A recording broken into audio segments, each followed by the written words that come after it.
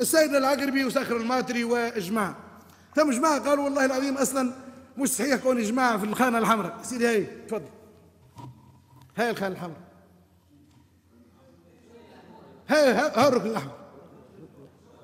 ها الركن الأحمر الخانة الحمراء تسمى الخانة الحمراء كذلك يقول أنه بالنسبة لهؤلاء نحن عندنا بطاقات مطالب تسليم وبطاقات جلب ومعناها صادرة من الانتربول دولي وبطاقات تسليم صادرة من تونس.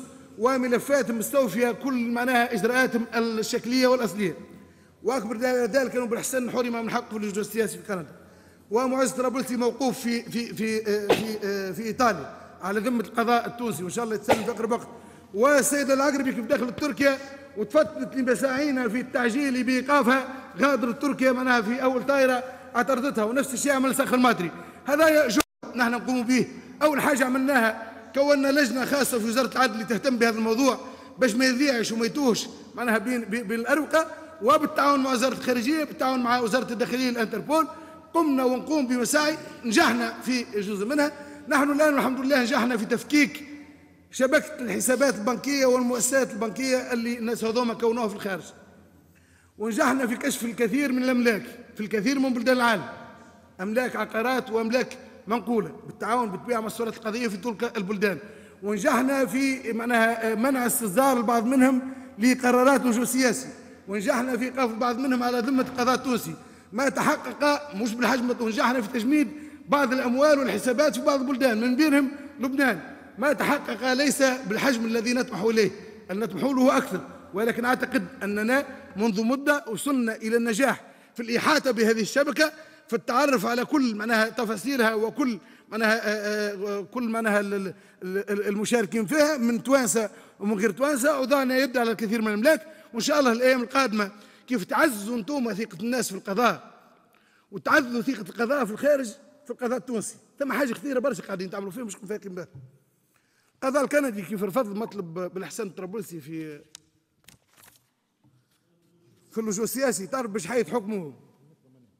حيث حكمه أن في تونس من الضمانات القضائية ما يكفي ليتم محاكمة بن حسن الطرابلسي محاكمة عادلة ومحكمة تعقيب الإيطالية وحكمها هو موجود ونجيبه لكم كيف حيث حكمها في إيقاف وتسليم معز طرابلسي حيثت بما ثبت لديها من خلال الوثائق والحجاج اللي وصلتها ومن خلال ما ينشر ومن خلال المعطيات التي وصلتها بأن القضاء التونسي يتوفر على حد أدنى من الاستقلالية التي تضمن محاكمة عادلة للمعز الطرابلسي اليوم الناس كلها تطعن في القضاء واليوم الناس كلها تشكك في مصداقية القضاء واليوم الناس كلها تنهش في القضاة وتنهش في القضاء. ومش عارفين كون هذا هذه التصريحات وهذه المواقف ستكون حجة لدى الناس هذوما اللي أنتم طالبوا بتسليمهم ستكون لهم حجة للإفلات من مطالب التسليم وستكون لهم حجة للتمتع باللجوء السياسي في هذه البلدان وستكون لهم حجة حتى يحرموكم ويحرموا الشعب التونسي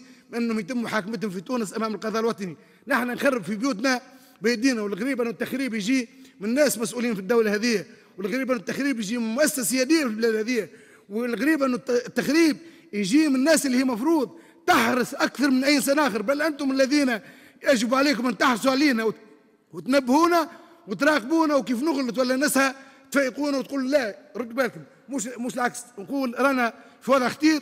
رجاء رجاء مش معناها نحن مش نكذبوا ولا مش نقول كلام مش صحيح لا يجب أن لا نتهم القضاء بما ليس فيه حتى لا تستغل تلك الاتهامات لفائدة ناس أن نحن نطمح إلى استرجاعهم ونطمح إلى استرجاع الأموال اللي اللي معناها نهبوها. وهذا في الحقيقة واجبنا واجبنا الناس واجبنا الناس كل واجبنا جميعا.